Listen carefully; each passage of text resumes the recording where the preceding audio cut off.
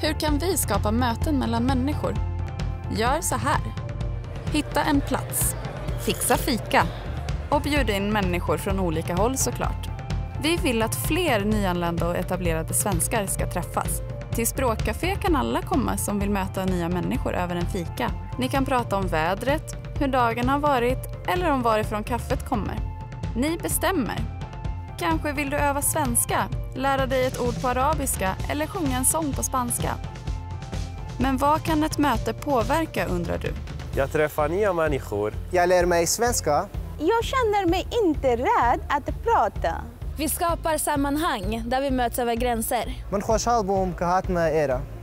Att vara volontär hos IM är lätt och flexibelt och ger mig mening. Samtidigt får jag träffa människor som jag aldrig skulle träffa annars.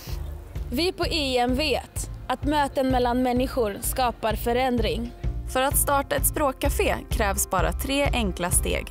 Vi vill att fler människor med olika bakgrund och erfarenheter ska lära av varandra. Var med du också.